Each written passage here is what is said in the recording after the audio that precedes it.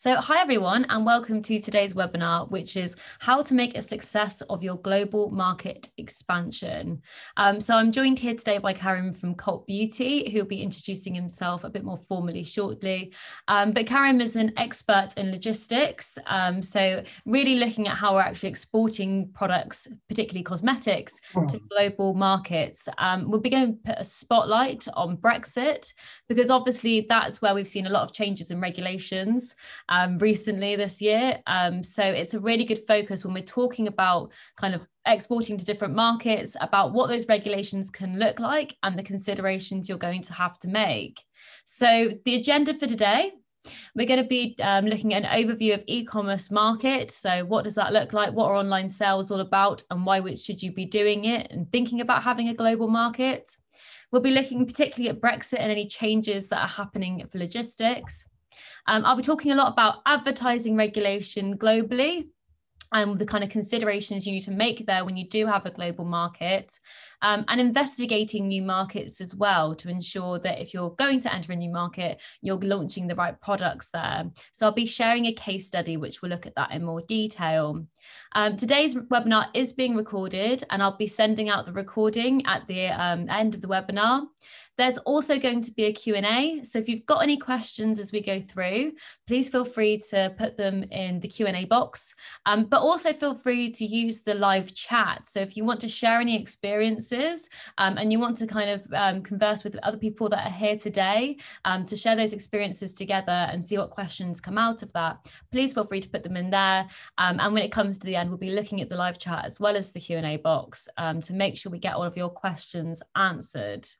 Uh, so I'm going to hand over to Karim to introduce himself. Thanks, Carys. Um, good morning, good afternoon, everyone. It's a pleasure to see you all. Um, and it's good to see a good attendance as well.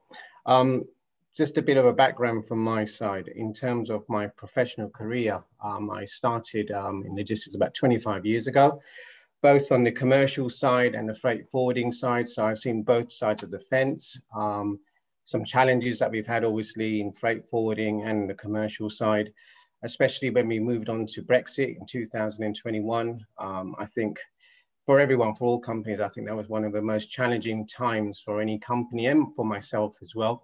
So basically what we're gonna do is um, from the first seminar that we had in March, we kind of broke things down into little chunks.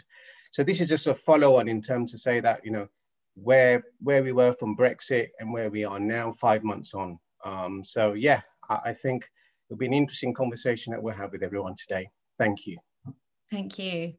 Um, and for those of you who don't know me, I'm the regulatory director at Ayton Global Research. So we spe- specialize in global consumer research, uh, mainly product testing, uh, to basically uh, substantiate advertising claims. But as I mentioned, today we'll be really focusing on investigating new markets as well. Um, so getting your products tested, getting that feedback to make sure that you are um, meeting the needs of your target consumers um, and you make the best success of your global product launches. So, to kind of give us an overview of today, I want to talk about the online sales market. Um, so, really, the overview from this is that online sales is where sales are going, um, especially I'll kind of go on to in a minute due to the pandemic that's happened this year. It's really going to continue to grow anyway, um, but it's always been growing over the last kind of few years.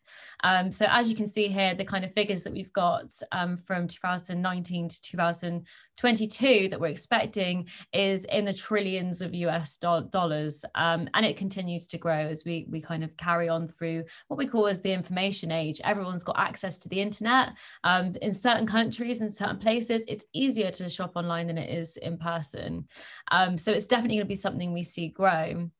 Um, a lot of um, health, personal care, and beauty sales are made online. So, about 10% of all retail sales are made online. Um, and as I mentioned, cosmetics is going to be a real focus for us today. Um, so, it's something that we're really um, seeing to accelerate. Things like social ads, influencers, that's all kind of adding towards this retail that we're seeing online. Um, so, Yes, it's very important. And also, it means that the global market is more accessible than ever. And you're also going to be in more of a global eye. So, when it comes to regulations, which I'll talk about later, particularly for advertising, you need to be really, really aware of if you've got an online market, who's actually seeing your adverts and are you complying by their regulations? Uh, but as I mentioned, COVID 19 has also been a huge um, impact for the online sales market as you know, um, you know, only recently here in the UK, if you're in the UK, um, shops only opened like last month. Um, so we've had things closed for a long time, um, and in certainly in other countries, it's it's been very similar, and certain places still aren't open for bricks and mortar. So it really is the way we're going to see things change, and I think there's going to be an impact where people have got very comfortable shopping online and don't necessarily want to go straight back into busy stores. Um, so we're just going to see these numbers rise and rise. Um, there was a couple of excerpts from um, market research that I found interesting. And um, in the beginning of the pandemic in April, um, we saw uh, the beauty sales um, just in March or April uh, saw up to 53%, uh, which is an incredible part of the overall 111% um, increase in online sales that happened right at the beginning of the pandemic. So you can imagine how much that kind of increased anyway. Um, cross marketing strategies have always been a big part of um, online sales as well. Um, so, really, this kind of um, quote here, it's something that has been put um, put into place by companies to take a long time to set up when it comes to online sales. So I think what was interesting about it took up to five years. Now it's something that people have had to do this year. Um, so many brands that we've worked with have had to really put up their product testing and look at these new markets because there was no chance to wait around anymore and kind of um, wait for things to happen. It's had to be very now. Um, so I think it's still going to be the case for a while for many brands. So over to you, Karim, to talk about uh, Brexit changes. Okay, thanks, Carys. Okay, so um, I've done it in four kind of phases in terms of what's, what's been illustrated on your screens now. So if you look at when we first started in January 21, um, we were, you know, the actual discussions of Brexit were taken about four or five years ago, saying that the, the UK will be become a non-EU country, so we exited the EU. Um, in January 21, most companies face those challenges um, for Brexit, and we were um, presented with the UK border operating process as well in terms of how Brexit will be uh, formulated uh, and how we would actually transition to, through the actual the Brexit parameters as well. So looking on the screen now, you'll see how it's kind of phased out. So we got Brexit, January 21, and then phase two was um, the UK de minimis removal. So that basically means that, you know, from uh, in terms of the VAT, how we would be paying our VAT. So we had the de, min de minimis value of VAT being um, erased. So that means that anything that came into the UK, we had to pay VAT. We are paying VAT now. So whereas before, um, when we were part of the EU, the goods were in free circulation. Moving on to phase three in, in March 2021, that's when we had um, the IC, ICS2, um, and that's to do with the um, the regulations with security filing and everything as well. So when we move on to the next slides, I'll kind of, I'll actually give you more detail in that. And then we move on to phase four, which is going to be expected in July 21, and that's the EU de minimis value of, of VAT and duty as well. Okay. Um, do you want to move on to the next slide, please, Carys? Okay, so here we are, the post-Brexit changes. Um, as we navigate through from January 21, um, what's important is to make sure all of our documentation um, is accurate, the EORI numbers, the VAT numbers, and that's what I kind of clarified in one of the previous webinar sessions we had the documentation has to be really accurate now. Otherwise, that's how they're going to actually do your customs declarations, your import VAT, how it's going to be paid as well. So number one, your EORI numbers, and I'm sure that most, most of you now have your EORI numbers registered, you have your VAT numbers, how you're going to be declaring um, the products as well, value of your goods, the actual terms of delivery as well, your freight, your insurance, your HS code, because that goes into the actual um, custom system, and that's how they're going to obviously um, customs clear your shipments. um, what we've seen as well, and what I've kind of seen for myself, is that when um, information is given, usually shippers would just put the gross weight and they'll say, well, why do I need the net weight? But the net weight is given because of the customs declarations. The customs declaration is usually used with the net weight because it's, it's done on a pro rata basis, and that's how they will calculate um, the value of goods based on your net weight, not the gross weight. So it's really important to make sure you have a clear description of your products and all the actual information on your invoices has to be accurate. So then that way your shipment is not delayed during the customs import process and the clearance process as well. So it's a straightforward um, process to be, uh, to be honest, but it's just making sure accuracy is really key now. Whereas before, when we were part of the EU, you could bring your shipments in and you just probably needed a, delivery note and a packing list because everything was in free circulation. And hence now the UK is not part of the EU. We're a non-EU uh, country and hence these, these regulations are now in place and therefore we really would urge everybody on this call to make sure that you have accurate, all your documents accurately completed, your EORI numbers, your VAT numbers, your HS codes, your net weights, and your gross weights. Okay, next slide, please, Carys.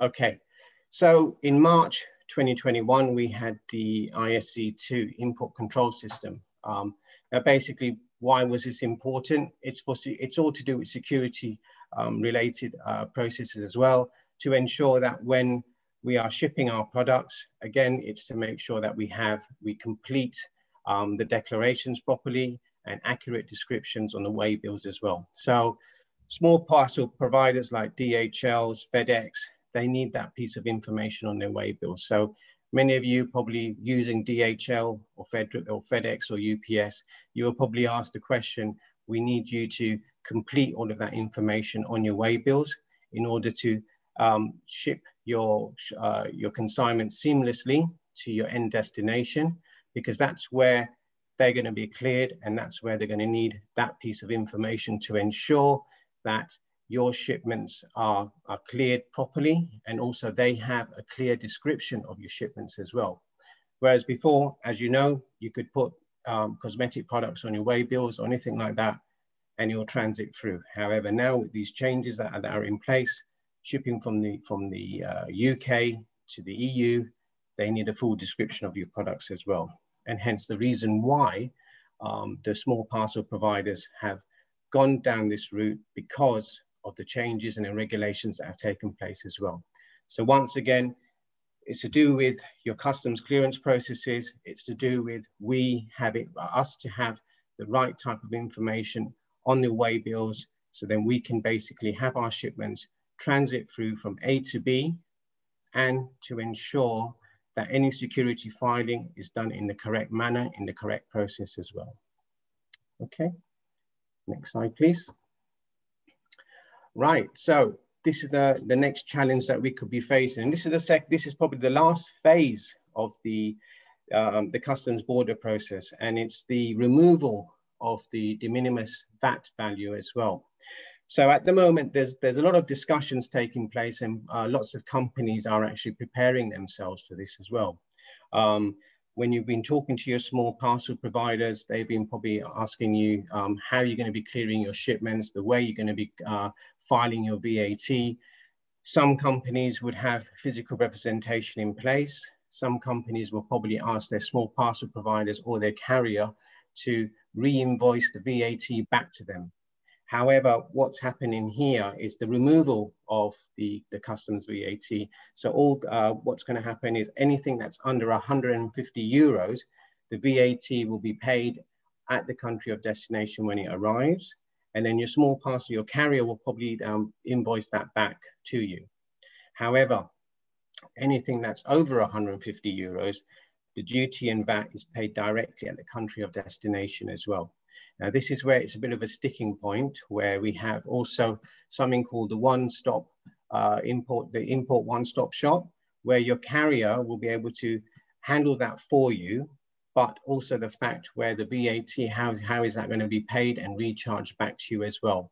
So there's a lot of discussions taking place at the moment in terms of verifying and formulating the actual process for the VAT and how that VAT will be billed back to the customer or to, uh, to the shipper. Um, usually you can have the VAT which will be um, paid at the checkout point, um, and then you uh, then when the shipment actually arrives at that, the destination point, that's when it's already been paid for. If you don't want to go for the import one-stop shop process, what will happen is that the VAT is paid by your customer and only then will they be able to release the shipment for final delivery. So as I said, there's a lot of discussion taking place with lots of carriers at the moment in terms of um, having the last bit of formalization of this process. And I would say by um, end of May, June, this will be kind of nailed down to say, right, this is going to be the process. But basically, the long and short of it is anything under 150 euros, your VAT will be payable by your carrier and they will bill that back within um, the monthly declarations of your VAT, how you file your VAT.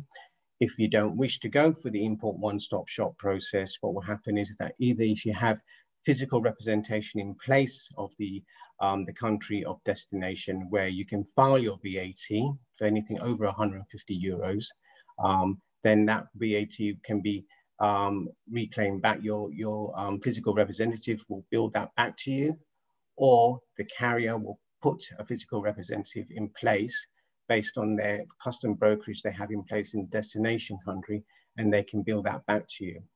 So long and short of it at the moment, lots of carriers are discussing this. They're just formulating the last end process of how this will be dealt with. And as soon as they have that formulated, I think um, by around, uh, like I said, end of May, June, um, you'll probably be hearing back from your carriers. They're right, this is how we're going to actually build back the actual VAT as well. So this will be the last process of the, um, the, the, the, operate, the border operating process that we will see for Brexit. But as we said, um, you know, we can say how long is a piece of string at the moment, but hopefully I think we can probably see the light at the end of the tunnel for May or June uh, on this one as well. Okay. Amazing. Thanks, Karim. I think it's, um, as you said, it's one of those things that have been dragged out. There's always seems to be another change with Brexit. So uh, there's lots right. of uncertainty, I think, about this next change, but hopefully that will be the last one. And, and everyone can start selling with a bit more confidence and having that export with a bit more confidence. Um, but one thing that hasn't changed because of Brexit is advertising regulation. Um, so I really wanted to talk about this, um, and I said go into a case study um, because every country has its own advertising regulations, and that's never been something that's been an EU thing. It's very much been a country by country basis. Um, there is a council that covers all of Europe, but because it's not EU based, um, it really is geographical. so for those of you who don't know anything about advertising regulation or are unsure about about it, um, it's really important when you are looking at exports. Um, so regardless of it, if it's a Brexit um, kind of change, or if you're trying to get into the EU, or if you're just trying to get into any global market, as I mentioned earlier, if you're selling globally, you need to be conscious of the regulations in the country that you are selling your product. So it doesn't matter if it's a cosmetic, doesn't matter if it's food, doesn't matter if it's electrical, it will all come under the same regulation. And what we're really talking about here is advertising claims. So, every product that you want to sell, obviously, you want your market to really boast about the benefits your product can do. Um, and everything you say about it then becomes a claim that you're making about your product um, because it's something that you're basically showing your consumer um, that your product can perform. So, advertising self regulation is the way the industry tends to regulate itself globally, um, apart from some exceptions, um, which basically means that instead of it being a federal organization, instead of it being a law in particular, it's these um, kind of organizations are set up to assist the governments um, and put out code of conduct out there that um, companies should abide by if they're selling in that territory. It can then go into legality if you don't abide by their kind of rules. But the idea is instead of the kind of government going through every single advert that's on the public domain and having to sift through it and make sure it's um, compliant, we're really putting the onus on brands themselves. Um, so there's three parts of the industry there. Uh, it's the advertisers who pay for the advertising, the advertising agencies responsible for its form and content, and the media that carry it. If you are any of those three, you need to be responsible in knowing what the advertising regulations are in that country and making sure that you're abiding them um, because you can come under scrutiny from those authorities. How does it work? How does it regulate itself? It's basically on a complaint system. So whether you're a consumer and you see, uh, you know, if you purchase a product, for example, it's I don't know um, a hair mousse, and it says it's going to be non-crunchy and make your hair soft while still making it curly, uh, but you get it and you don't think it performs in that way, and you're not happy with it, uh, you might complain to the advertising authority in your country to say, I've been sold this product, it doesn't do what it's saying, um, and I'm not happy with it.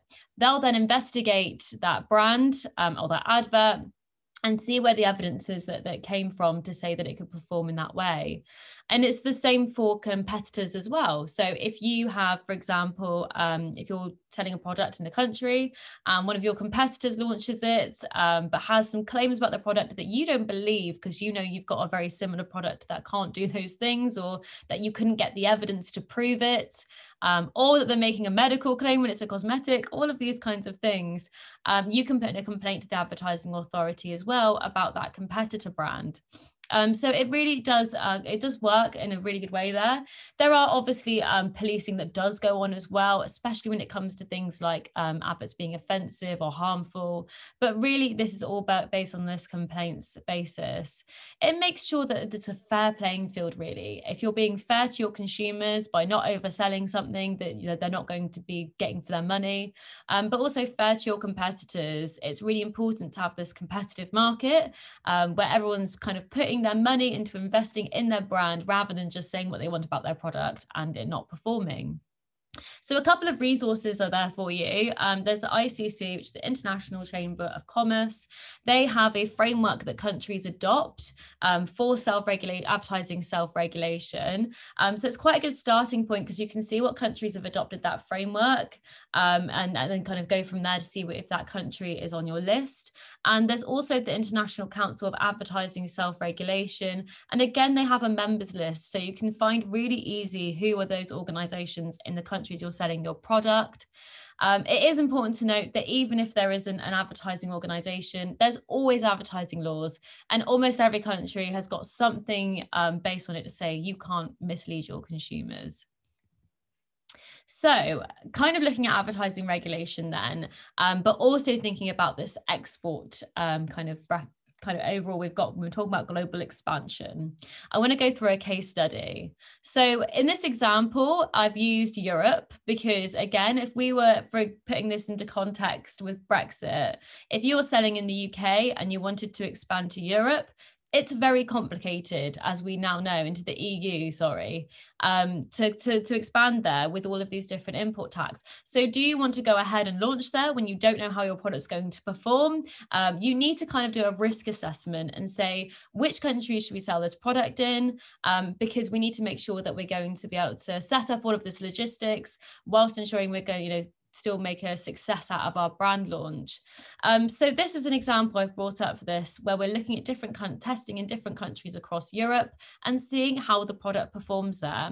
Um, so in this case, this was a global leader in um, wholesale with pharmacy and health and beauty products. They already have, um, you know, very good key markets in the UK and USA.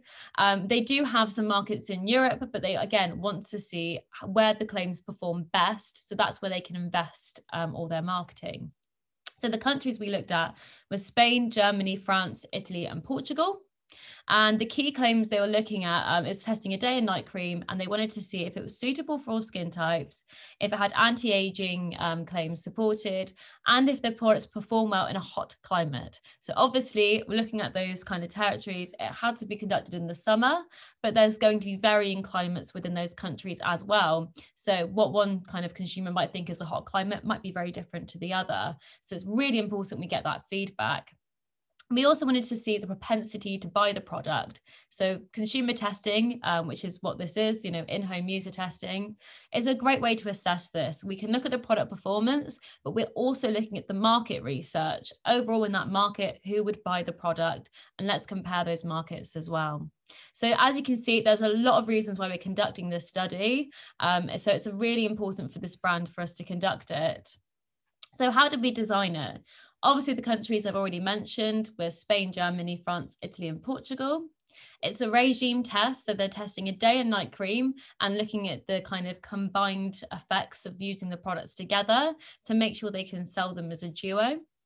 It was a six week study. As I mentioned, they had some anti aging claims they wanted to make. Generally, for anti aging, we're looking at about six weeks at least because uh, things like you know reducing the appearance of wrinkles dark spots that all takes time to have an effect when you're using a product. So we need to make sure we've left lots of time. We were reflecting all skin types so making sure we had a split of skin types across the uh, across um, the panel panelists in each country.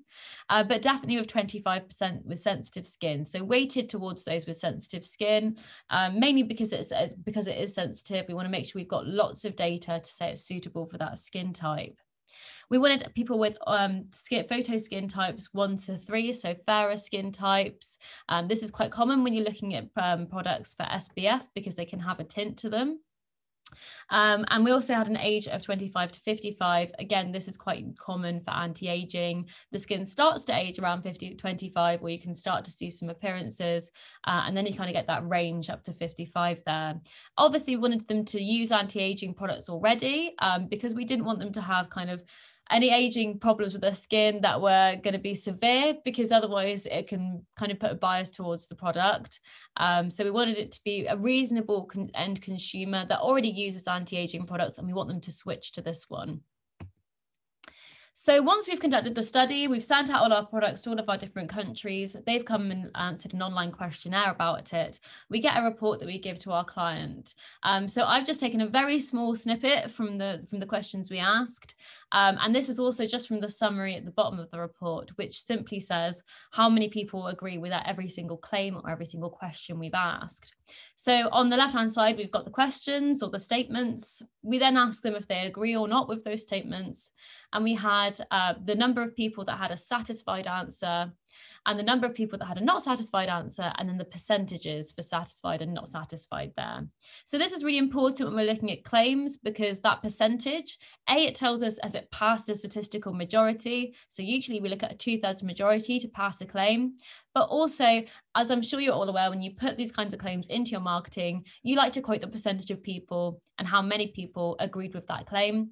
So in this case, we had 84% of people in the study agreed that their skin was protected from redness with flushing associated with the heat. Again, we wanted to look at hot climates and how this product performs in those climates. 92% of people agreed that the serums were suitable to use in summer. 98%, which is a huge, huge percentage, agreed that the serum reduces the appearance of their wrinkles. As you can see, we had 299 people in the study. So for 98% of 90, 299 people to agree with a claim is a very successful um, product. So it's really good to see and get those claims for our clients. Uh, and then 91% of people said their skin feels boosted with vitality. Again, these anti-aging claims we're talking about.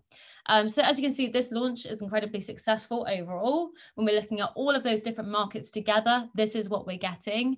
Um, and we can kind of launch straight away. We know that people agree with these claims. We, we can launch those products with those claims. But it's really important to think about breaking down the countries anyway, um, because obviously, if the you know if the claims overall pass, uh, we need to assess it and go, okay, it might have passed in the countries overall, but if we're going to take them out one by one, um, do we have those claims passed in each country? And also, is it worth launching the products in all, every country? So we've broken down some of these um, questions um, by the, the kind of country basis to give you an overview here.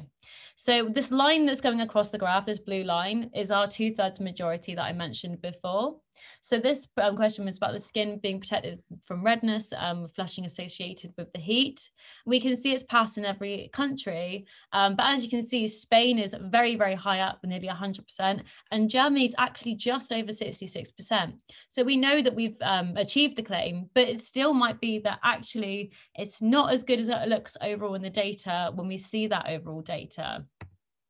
Um, so when we look at the serums are suitable for use in summer, again, really high percentages, but you can really see the difference now about where it's the most accepted. So most accepted in Spain again, and least accepted in Italy, but still quite a high percentage. Um, again, boosted with vitality, we can see the breakdown there. Um, and again, Germany is kind of our lower one there. Um, and also about if the price was right, would you purchase it? Now, this is really, really important because this was one of our um, kind of main key claims to say if we're going to sell the product there, um, who's actually going to purchase it. Now, this is where it becomes slightly interesting. The orange on the graph reflects people that um, who had a negative answer, so said they wouldn't buy it. The blue is the people that said they would buy it, but the grey is the people that weren't sure. So now when we look at Germany, we can actually see that the majority of the panelists are sitting within the unsure, the neutral response. So when we're going back to the brand, even though we've got an overall positive um, response to the comments in every um, in response to the claims in every country, and even though it's not a negative response to buying the product in Germany, it does make us really reflect whether actually it's worth launching the product there um, and setting up all those logistics. Um, so overall, uh, the claims were validated in every country. The highest purchase interest was in all the southern European countries, which is interesting because they're also the hotter climates. And this is what this product was really designed for. Um, but Germany is quite moderate with their interest. Um, and yeah, it's it's kind of unsure about whether that's a go ahead. I guess my my kind of um, come away from that would actually be to increase the panel size in Germany alone and look at that on its own and sort of say, okay, let's ask 50 more people would they uh, purchase that product. And then you've got more data buying that claim to give you a more reliable result. Um, just an important kind of comment before we go to the Q&A as well is to really think about your adverts in each country. And this is where we were, I was kind of saying about earlier, not about advertising standards, but also about how your adverts are received in every country, again, by doing that kind of product feedback. Um, so when you have a claim that's going out on your online website, that's going out to every market, you need to think about whether it's appropriate for each country. So a big thing um, that's happened over the last year is Unilever cha- changing the name for Fair and Lovely Skin Lightening Cream in India. Again, it's quite interesting that they're just choosing one market um, to change it with. And this is really coming out of everything that's kind of going on about colorism in the cosmetics industry. Um, so it's not necessarily that they're actually changing the product at all, which I think is quite interesting when we're looking at the claims that are behind it. But they are changing the um, the, the name of the, the product to make sure it's not coming across as offensive, um, kind of putting that wording together fair and lovely is suggesting that darker skin maybe isn't so lovely. Um, so really important again to think about where you're kind of marketing the products and how it's going to be received by that consumer. Um, there's also in China, um, a, a, blogger actually picked up on La Mer for um, having false advertising. So this was to do with claims they were using on Chinese consumers, um, but weren't actually showing to other markets. And when the blogger looked into it, they found that actually they weren't supposed to be saying these claims. They had no evidence behind it, but they were essentially getting away with it in China, but not in other markets, um, kind of using that advertising regulation to their advantage. I would say that new regulations in China for cosmetics would really crack down on this now. But back in 2018, they kind of got away with it a bit. Um, so they were called out on it, reported it to their advertising um, standards, I mentioned, and they had to um, change that advert. And another important one was from Proactiv, where they were using um, different testimonials and claims from their American campaign and selling it in the UK. But actually, the UK product doesn't have the same ingredients. So therefore, um, if you tested, you know, two different products with different, two different ingredients, you're going to get different evidence behind those claims. Um, so again, it was kind of an, an oops on their half. Again, you know, a lot of these brands aren't doing things because they mean to. This can happen by accident. And in this case, that was kind of an accidental mistake by showing an advert for something that actually is a different product in the wrong market. Um, it's just really, again, I'm just kind of bringing up things to say this is how easy it is to make these mistakes. Uh, really research the markets you're launching into and make sure that you have the right evidence, the right claims, and the right adverts that are appropriate for that country. Um, so just to kind of summarize today before we go to our questions at the end, I can see a few have come in.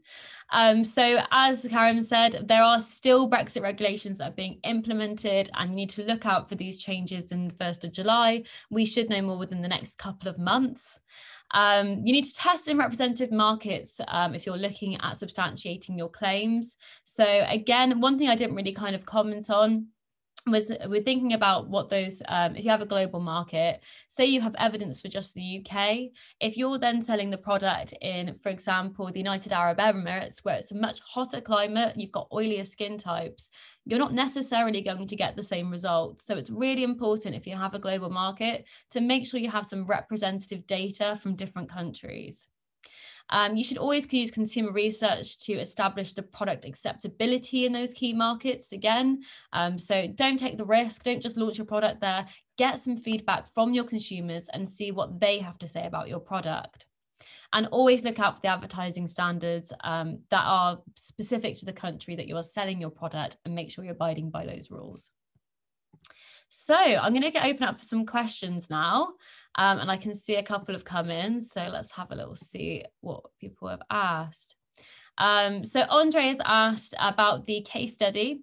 Um, do we know why Germany is more neutral? Is it due to their cultural habits, um, or they do they think they have better other offers? Well, that's something that we can really investigate. But generally, yes, Germany does tend to have a more negative response um, than other countries as a flat rule, um, which is always one thing we kind of look at. We always say um, India has a really amazing response generally, uh, and Germany has more negative response. If you really want to know how your product performs, test in both. If your product performs negatively in India, you know there is something wrong with the product. Um, and if it um, performs really positively in Germany, you know there's probably something very right with the product. Um, so it's always something to consider there. And we do look into those aspects. We have a specialist franchise in Germany who really understands the market over there. Um, so we always make sure kind of study and questionnaire design is going through him specifically. Um, but yeah, it can also be because they have other products on the market that they're more interested in um, that can be a huge thing as well. So generally with stuff like that, that's an overview. We can then do further research to look into it. We can ask further questions um, and yeah, get some more feedback on that. That's the beauty of consumer research is you can keep keep going, you know, keep delving into it um, you kind of get to the bottom of these things. Um, so Karim, over to you for the uh, question about the net weight